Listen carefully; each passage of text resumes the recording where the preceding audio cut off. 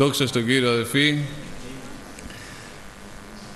Δεν ήταν στο πρόγραμμα να σας πω τίποτα. Εγώ πίστευα ότι θα ακούσω σήμερα μόνο.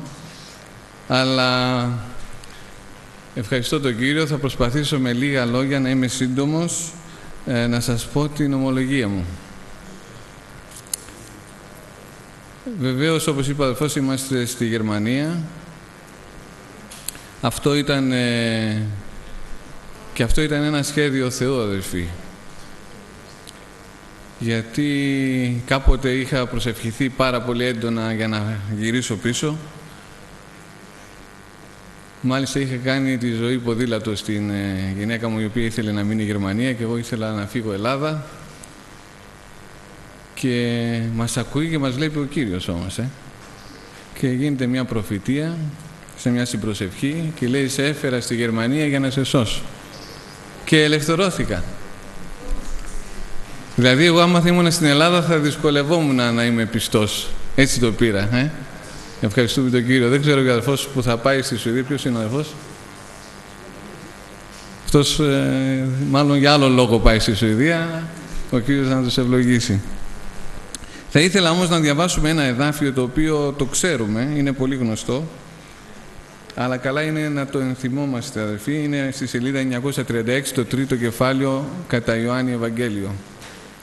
Λέει το 16 αδελφοί, διότι τόσο αγάπησε ο Θεός τον κόσμο ώστε έδωκε τον Υιόν αυτού του μονογενή για να μην απολεστεί πάσο πιστεύων εις Αυτόν αλλά να έχει ζωή αιώνιο. Ευχαριστούμε τον Κύριο. Ε.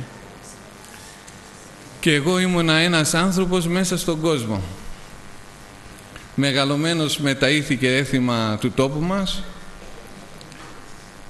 πιστός σε αυτά, πηγαίνοντας πολύ συχνά στην Εκκλησία, μέχρι τα δεκα... 16, αν δεν κάνω λάθος, ή 15 ήταν ή 16. Σε εκείνα σε εκείνη τη χρονιά είχε έρθει ένας ε, φίλος από το Άγιο Όρος και μας έφερε ένα, μια σελίδα εγώ κατάγομαι, είμαι από το Κιλκής, από το Καμπάνι και είχαμε μια καφετέρια. Στην καφετέρια εκείνη λοιπόν καθόμασταν και μιλούσαμε για τα εσχατολογικά. Πηγαίνοντας στην επιστροφή για το σπίτι είχα φόβο κάθε φορά περνούσα από την αυλή της Εκκλησίας, της Ορθόδοξης και εκεί την ημέρα σταμάτησα μπροστά στο φως αδερφοί, ε, εκεί που ήταν η λάμπα και δεν μπορούσα να προχωρήσω δύο ώρες. Αυτό ήταν ένα σημείο και το λέω γιατί σταμάτησα από εκεί την ημέρα να πηγαίνω στην εκκλησία.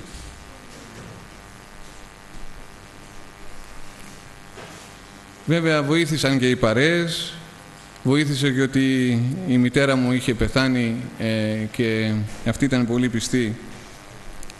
Βοήθησε και ότι ο πατέρας μου είχε πεθάνει και εγώ τώρα ήμουν ελεύθερος, ε, να, να διασκεδάσω. Πολλοί από τους νέους πιστεύουν ότι μόλις θα πάνε 15-16 είναι ελεύθεροι πλέον, ε, να γυρίσουν στα μπαράκια, να γυρίσουν στις δισκοτέκ, να γυρίσουν στην νυχτερινή ζωή Κάτι που δυστυχώς εγώ το ακολούθησα. Έψαχνα να βρω αδερφή την ευτυχία μέσα στη νύχτα. Ε. Αλλά ξέρετε τι που κατέληξα; Κατέληξα να ακούω τον Χάρη Κλίν, τον αυτόν τον κομικό, για να κοιμηθώ. Γιατί είχα βάρος και έλεγα να ακούσω κάποια, κάποιο αστείο να γελάσω και να κοιμηθώ αδελφοί ε. ευχαριστούμε τον Κύριο. Η ζωή μου βέβαια ήταν πάρα πολύ άσωτη ώσπου προχθές λέγαμε τα ίδια πράγματα σε μια κοινωνία που είχαμε. Δεν θα σας πάω όμως λεπτομέρειες. Με φύλαξε πάρα πολλές φορές ο Κύριος από θάνατο. Πριν πιστέψω και μετά που πίστεψα ώσπου έφτασε το 1992 εγώ έμεινα στη Στουτκάρδη και πήγα στην, στο Μπίτιχάιμ, είχε Ορθόδοξη Εκκλησία, να πάρω, να πάρω το Πάσχα εκεί, να πάρω και το Άγιο Φως, όπως το γνωρίζουμε. Το έβαλα στο αυτοκίνητο και πήγαινα να το μοιράσω στους φίλους μου, οι οποίοι δεν είχαν έρθει στην Εκκλησία. Αμέσως μετά, αδελφοί, το Πάσχα, μας βλέπει, να ξέρετε κάτι, μας βλέπει ο Κύριος. Ό,τι και να κάνουμε, όπου και αν βρισκόμαστε. Είτε είμαστε πιστοί, είτε δεν έχουμε ακόμα πιστέψει. Πάντοτε μας παρα... όλους τους ανθρώπους τους παρακολουθεί ο Κύριος, αδελφοί. Ε. Πιστεύω ότι είδε στην καρδιά μου μέσα ότι έψαχνα να τον βρω, ε, αλλά δεν ήξερα πού να τον βρω. Λοιπόν, συναντάω τον αδερφό του Λευτέρη στη δουλειά και με λέει Χριστός Ανέστη, αληθώς Ανέστη, ζει ο Ιησούς. Προσέξτε, μετά το Χριστός Ανέστη και το αληθώς Ανέστη με είπε ζει ο Ιησούς. Αυτό ήταν. Έφυγα την άλλη μέρα το ίδιο πράγμα. Ζει ο Ιησούς. Και μάλιστα με ρώτησε πιστεύεις ότι ο Χριστός αν, αναστήθηκε; Το λέω, εγώ βεβαίως, το πιστεύω, δεν το πιστεύω. Αυτό ήταν αδερφοί. Ε. Δύο-τρεις φορές μου το είπε ο αδερφός και μετά δεν ήθελα να τον βλέπω άλλο. Δεν ξέρω γιατί. Τον απέφευγα. που ήρθε ο Οκτώβριος και σε αυτό τον Οκτώβριο είχα πάθει μια αρρώστια εγώ και ήμουνα στο σπίτι και ερχόντουσαν όλοι οι φίλοι μου να παίξουμε χαρτιά στο σπίτι. Αλλά εγώ δεν ήμουνα του χαρτιού. Και μόλις μαζευόντουσαν, ας πούμε, μονός αριθμός, εγώ έβγαινα από το τραπέζι. Και ξέρετε τι έκανα; Πήγαινα στο διπλανό το δωμάτιο και διάβαζα την Καινή Διαθήκη. Και δεν καταλάβαινα τίποτα. Βέβαια, δια... συγγνώμη, διάβαζα την Αποκάλυψη και δεν καταλάβαινα τίποτα και θυμάμαι ένα βράδυ έκλεισα την Καινή Διαθήκη και λέω θα το πάρω από την αρχή. Και αν δεν καταλάβω και τώρα, τελείωσε η υπόθεση η Καινή Διαθήκη για μένα. Την άλλη μέρα λοιπόν ξεκίνησα να διαβάζω από το κατά Ευαγγέλιο αδερφοί και άρχισε η καρδιά μου να δέχεται το Λόγο, να πιστεύει το Λόγο με καθήλωνε επί ώρες οι άλλοι παίζανε χαρτιά δίπλα και εγώ ήμουν όσες ώρες αυτοί παίζανε χαρτιά διάβαζα το Λόγο. Μέσα σε πολύ γρήγορο ρυθμό ο Κύριος με αναγέννησε άρχισα να τους ομολογώ για τον Κύριο χωρίς εκκλησία χωρίς κοινωνία με αδερφούς χωρίς τίποτα και απογοητευόμουν συνεχώς. Ένας από αυτούς τους φίλους ο οποίος ήταν ε, στα χαρτιά με είπε ο πατέρας μου λέει ήταν μέχρι τα 12 στο Άγιο Όρος. Ξέρεις τι έχουν δει τα μάτια του; Μη πίστευε και μη μιλάς ε. Δεν μπορούσα όμως εγώ αδερφή, ε. Άρχισα να ομολογώ στους Έλληνες εκεί που δουλεύαμε. Τότε το εργοστάσιο είχε 5.000 κόσμο. Τώρα έχει 1.400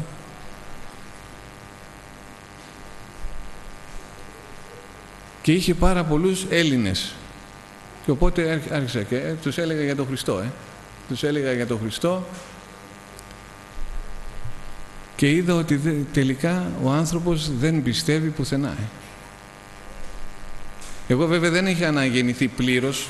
Ήταν μια σταδιακή, μια δύναμη που πήρα από τον Κύριο. Μπορώ να το πω... Δεν μπορώ να το εξηγήσω διαφορετικά, γιατί ξέρετε γιατί. Όταν πήγα στη δουλειά, μια Δευτέρα, με λέει ο αδερφός ο Σάβας, ο οποίος τότε δεν ήταν αδερφός, με λέει, εγώ σήμερα θα πάω στον Λευτέρη να πιω καφέ. Θα έρθεις μαζί; Λέω, θα έρθω κι εγώ και εκεί την ώρα που τον είπα θα έρθω, θυμήθηκα ότι ο μόνος που δεχόταν την Αγία Γραφή ήταν αυτός.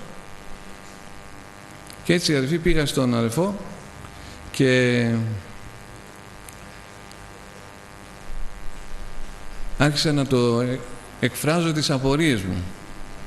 Και είδα ότι πραγματικά μέσα από το λόγο με έλυνε τις απορίες ο αδερφός. Ε.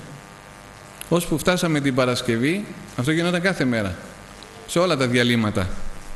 Φτάσαμε λοιπόν στην Παρασκευή, την, Παρασκευή και του άνοιξα την καρδιά μου και του λέω εγώ ήμουν αθλητής. Είμαι αθλητής μέχρι τότε. Ε. Και με πειράζει που δεν μπορώ να κόψω το τσιγάρο. Κάπνιζα το τσιγάρο, το έκοβα δύο μέρες, την τρίτη μέρα, το ρεκόρ ήταν τρίτη μέρα αδερφή. Στην τρίτη μέρα έπρεπε να ξανακαπνίσω. Οπότε με λέει θα πας, θα προσευχηθείς και ο Χριστός έχει, έχει ελευθερώσει και άλλους ανθρώπους. Πήγα απέναντι αδερφή στο τμήμα μου, δούλεψα κανένα τέταρτο και βγήκα έξω στη ράμπα για να καπνίσω, αλλά δεν κάπνισα. Ούτε ήξερα εγώ την προσευχή. Ξαφνικά, δεν ξέρω πώς έγινε, πιστεύω ήταν ο Κύριος, γιατί σήκωσα το κεφάλι μου ψηλά και τα χέρια ψηλά και λέω, είσαι ζωντανός, υπάρχεις, μπορείς να με ελευθερώσεις από το τσιγάρο; Λέω, αν νιώσω το κάψιμο που είχα νιώσει μικρός όταν το ξεκίνησα, το ξεκίνησα στα 7, στα 14 το έκοψα γιατί ήμουνα σε μια παιδούπολη στο Ρεόκαστρο ε, και εκεί μας φτιάχναν έλεγχο, μας κοιτούσαν τα χέρια, μας φτιάχναν έλεγχο άμα καπνίζουμε και τα λοιπά, στη τραπεζαρία. Και εγώ είχα αγοράσει ένα πακέτο, αν θυμάμαι καλά ήταν καρέλια, γιατί δεν φτάναν για Μάλμπουρο τα λεφτά. Και για να μην με βρει τα τσιγάρα αυτός αδερφή, τα κάπνισα μέσα σε μισή ώρα όλο το πακέτο. Φανταστείτε τι είχε γίνει εκεί τη στιγμή. Ε. Και έπεσα στο... Αυτό έγινε στο γήπεδο του μπάσκετ. Και έπεσα δίπλα από το γήπεδο του μπάσκετ. Ήμουνα μόνος. Έχασα τις αισθήσεις μου. Και δεν ξέρω πόση ώρα ήμουν εκεί. Πάντως δεν έφαγα εκείνο το μεσημέρι. Δεν πήγα για φαγητό. Αλλά από τότε αδερφοί και μετά δεν ξανακάπνισα. Ξανακάπνισα μετά το στρατό. Και με ενοχλούσε ότι δεν μπορούσα να το κόψω. Λοιπόν ζήτησα από τον Κύριο αυτό το κάψιμο. Και ο Κύριος με άκουσε. Μπήκα μέσα στο εργοστάσιο να δουλέψω και ξαναβγήκα μετά από κάνα 20 λεπτό για να καπνίσω, ξεχνώντας την προσευχή που έκανα. Και ανάβω το τσιγάρο και άρχισε να έχω το κάψιμο. Κάθε φορά που ρουφούσα μια ρουφιξιά, τόσο πιο δυνατό γινότανε. Ώσπου σκέφτηκα και λέω πάει λέει ο Χρήστο, τώρα τα έχεις χάσει. Παρεστήσεις έχεις. Και ήταν η πρώτη φορά που με μίλησε ο Κύριος και με είπε δεν το ζήτησες. Μη γίνε, μη, μη γίνε σε άπιστος, αλλά πιστός. Και εκεί την ώρα αδερφή πήγα και πήρα τηλέφωνο την ουνά μου, η οποία ήταν πιστή, ήξερα ότι ήταν πάντοτε με μια... Τώρα είναι αδερφή μας στην Πτολεμαίδα. Ε, ήξερα ότι είναι πάντα με την Καινή Διαθήκη. Αλλά ήταν Ορθόδοξη, ε. Και λέω, τι είναι η εκκλησία αυτή; Και λέει, αδερφή μας είναι. Κλείνω λοιπόν το, το τηλέφωνο και πάω στον αφότο Λευτέρη και το λέω, Πότε έχετε εκκλησία, μου λέει την Κυριακή. Λέω θα έρθω κι εγώ. Το άκουσε ο αδερφός ο Σάββας αυτό και δώσαμε ραντεβού στον Χάιμ και πήγαμε αδερφοί μαζί στην εκκλησία και μας αναγέννησε και μας πρόσθεσε ο Κύριος και τους δύο ευχαριστούμε τον Κύριο και από τότε αγωνιζόμαστε μάλλον αγωνίζεται ο Κύριος μαζί μας ώστε να είμαστε εμείς αδελφοί σε θέση να τον συναντήσουμε και κάνει πολύ αγώνα ο Θεός. Και πιστεύω σήμερα τα, τα παιδιά ήθελαν πάρα πολύ να έρθουν εδώ γιατί είχαμε πει θα πάμε αφού ήρθαμε εδώ στην Αττική να έρθουμε στην Αθήνα για να τους δείξουμε έτσι και την Ακρόπολη και μετά να το συνδυάσαμε λοιπόν να έρθουμε και εδώ. Και πιστεύω ότι είναι και για μας μια ευκαιρία σήμερα να ανανεώσουμε αδελφοί αυτή τη συμφωνία που κάναμε με τον Κύριο Κάθε μέρα, ε, για μένα, δεν υπάρχει μία φορά μετάνοια, μία φορά επιστροφή, αλλά κάθε μέρα. Δηλαδή, το 92 μπορεί να πίστεψα, αλλά και σήμερα χρειάζομαι μετάνοια και επιστροφή, αδελφοί. Ε. Δεν υπάρχει άλλη οδός. Ε. Δεν μπορώ να πω ότι ο μόνος αγαθός ε, είναι ο Κύριος. Ε. Και είναι μεγάλα τα λέει, επειδή αναφέρθηκε ο αδελφός στα, στα παιδιά, να σας πω και μια εμπειρία. Είμαστε ο πρώτος γάμος στη Γερμανία, με την αδελφή την Κούλα, και το πρώτο μας παιδί γεννήθηκε και πέθανε 4,5 μηνών. Είχε μια πάρα πολύ σπάνια αρρώστια, η οποία τότε ήταν 40 σε όλο τον κόσμο και αυτοί φτιάχνανε πειράματα. Ε. Μας στέλνανε σε ειδικούς, αλλά φτιάχνανε πειράματα. Ξέρετε, το παιδί δεν είχε εξωτερικά τίποτα. Απλά δεν έβαζε κιλά. Είχε όμως ένα πρόβλημα με το ανασωπητικό του σύστημα και κάναμε όλες τις ε, εξετάσεις εμείς, AIDS κάναμε, όλα τα πάντα τα κάναμε. Μπουκαλάκια αίματα πηγαίνανε και από τους δυο μας συνεχώς αδελφοί στους γιατρούς, ε, για να βρούνε τι αρρώστια είναι. Άλλοι λέγανε το έντερο είναι, άλλοι λέγανε το ένα, άλλοι λέγανε το άλλο. Αλλά με μίλησε εμένα ο Κύριος ότι το παιδί θα πεθάνει. Και όντως αδελφοί, 4,5 μηνών πέθανε το παιδί. Δυσκολευόμαστε να τα ακούμε αυτά, ε.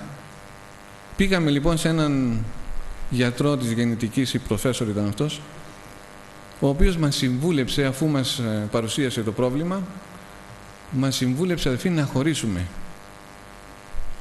Και βγαίνοντας έξω από την πόρτα λέω, ο Κύριος θέλει να έχουμε μία γυναίκα. Οπότε πήραμε εκεί τη στιγμή την απόφαση και χωρίς παιδιά να μείνουμε στον Κύριο. Ε. Αλλά διαβάζοντας το λόγο, διάβασα στην Παλιά Διαθήκη, λέει σε ένα σημείο ο Ευνούχος ότι είμαι σαν το ξηρό το δέντρο, ε. Δεν έχει καρπό δηλαδή. Και σε μια προσευχή που είχαμε στην προσευχή σε ένα σπίτι και ήμασταν αρκετοί αδερφοί, το έφερα αυτό το λόγο στον Κύριο. Με κλάμα βέβαια, αλλά δεν με προσπαθούσα να μην με καταλάβει κανένας, ούτε να με ακούσει κάποιος. Προσπαθούσα όλα από μέσα μου να τα λέω. Και γίνεται μια προφητεία και λέει σε ένα χρόνο θα έχεις παιδί. Και δεν το πίστεψα. Και σταματάει ο προφήτης και σηκώνει μια αδερφή προφήτησα και λέει μην αμφιβάλλεις σε ένα χρόνο θα έχεις παιδί. Και λέω η μητέρα του Κυρίου κρατούσε τους λόγους μέσα στην καρδιά της. Και εγώ αυτό θα κάνω.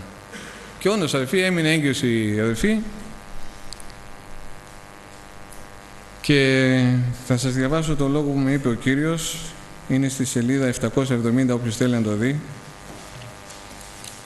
την ημέρα που πήγαμε για να γίνει η Κεσαρική γιατί έπρεπε να γίνει η Κεσαρική λόγω της ασθένειας του προϊστορικού που είχαμε λέει στη σελίδα 770 για τούτο υπέ στο 22 προς τον οίκον Ισραήλ ούτω λέγει Κύριος ο Θεός εγώ δεν κάμνω τούτο ένα και ενημών 20 αλλά ένα και του Αγίου ονόματός μου και αυτόν τον λόγο τον πήρα και τον κράτησα μέσα μου και πίστεψα ότι όλα θα πάνε καλά αδερφοί ε. γιατί ξέρετε πηγαίναμε για εξετάσεις ειδικές εξετάσεις στον τύπη γιατί ήταν 80 χιλιόμετρα από εμάς και ενώ είχαμε χαρά μέσα μας όταν πηγαίναμε και ακούγαμε τους γιατρούς, είχαμε απογοήτευση. Μας απογοητεύαν, απογοήτευαν συνεχώς. Αλλά πίστεψα αδελφοί στο Λόγο και γεννήθηκε η Ιωάννα, η Σάρα Σίλβια, η, η Αναστασία και είχαμε ένα παράπονο ότι το πρώτο παιδί ήταν αγοράκι και τώρα έχουμε τρία κορίτσια. Και υπήρχαν και μερικοί αδερφοί οι οποίοι μας πειράζανε για το ότι είχαμε τρία κορίτσια. Ασοφία βέβαια, αλλά όταν ο άλλος έχει πόνο, Δεν κάνει να μιλάμε έτσι. Και του αδελφού του Λευτέρη η κόρη γέννησε ένα παιδί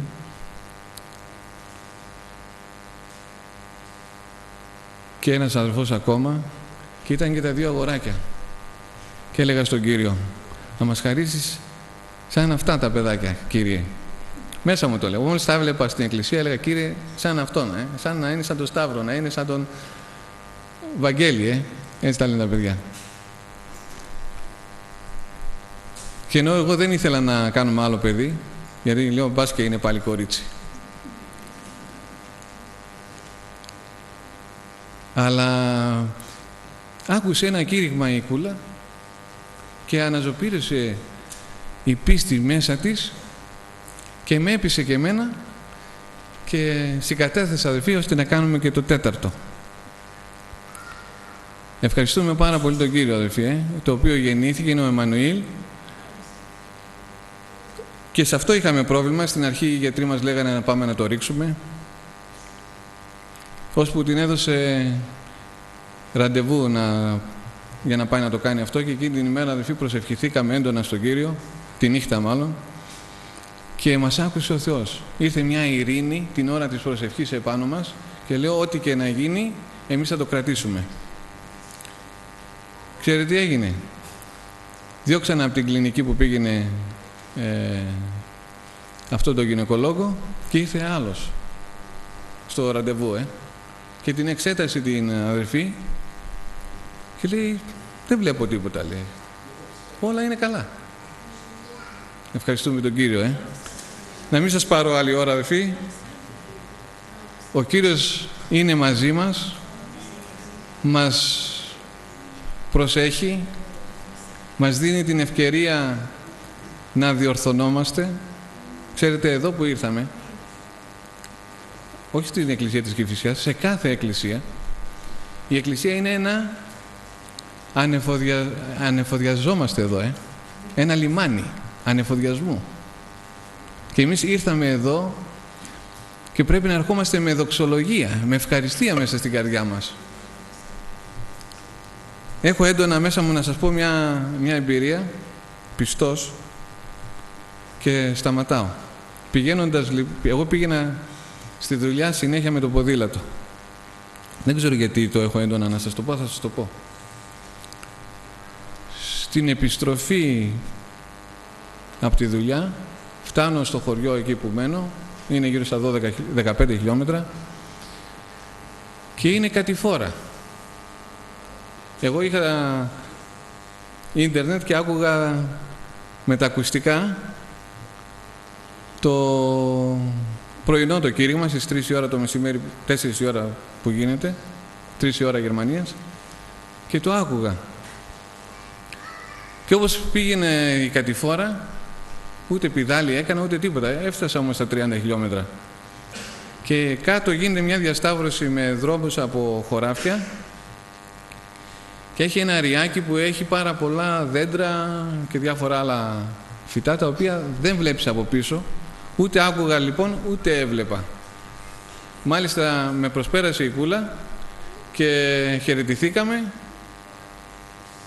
και μόλις έφτασα στη διασταύρωση αδελφή, με μιλάει ο Κύριος και λέει στρίψε το κεφάλι σου αριστερά γιατί έχετε αυτοκίνητο και μπορεί να γίνει μεγάλο ατύχημα. Αυτόματα έστρεψα το κεφάλι μου αριστερά και εκεί την ώρα που το έστρεψα, πετάχτηκε αδελφοί ένα τρακτέρ τεράστιο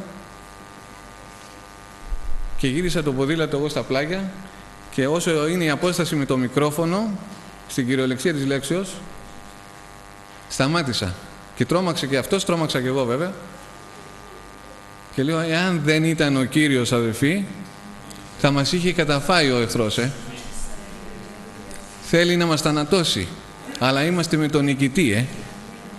Ευχαριστούμε τον Κύριο. Τι θέλει λοιπόν ο Κύριος από εμάς, να ομολογούμε, γι' αυτό είπα την ομολογία. Είπα αδερφός ε, να μας πεις την ομολογία ή να μας πεις κάτι, ό,τι θέλεις λέει. Αλλά λέω, καλύτερα είναι η ομολογία, ε; δοξάζεται πιο πολύ ο Θεός. Ο Θεός αδερφοί να σας ευλογήσει και να μας έχετε και στην προσευχή. Εμείς εργαζόμαστε εκεί με τη χάρη του Θεού πρώτα από για τον εαυτό μας, για την οικογένειά μας και μας έβαλε ο Κύριος να πηγαίνουμε, η εκκλησία του Χάιμ πηγαίνει στο Μόναχο, στο Ντάμστατ. Πάμε Νιρεβέργη, όχι όμως σε πρόγραμμα μέσα. Ε, έχουμε, έχει γίνει μια κατοίκονη εκκλησία τώρα στο Σαρλούις. Αυτό είναι 280 χιλιόμετρα από εμάς. Ανέβηκε ο Βασίλης ο Φιλίππου από την Καλαμάτα. Πήγε στο Μάνχαιμ, αλλά τα έφερε έτσι ο Κύριος, ώστε πήγε στο Σαρλούις, που ήταν δύο ψυχές, και τώρα γίνεται κατοίκον συνάθρηση. Είναι ένας αδερφός από την Τρίερ, είναι τα παιδιά της αδερφής. Κάτι κινείται αδερφή, ευχαριστούμε τον Κύριο. Ο Κύριος να ευλογήσει λοιπόν όλα αυτά τα μικρά ή τα μεγάλα τα οποία άναψε φωτιές. Ε. Κάποτε ένας αδερφός είδε τη Γερμανία να έχει πολλές φωτιές παντού. Και ξέρετε, άμα μείνουμε, θα το ζήσουμε. Εγώ το πιστεύω αυτό. Πρέπει να μείνουμε, αδερφοί. Ε. Ο Κύριος θα μας ευλογεί.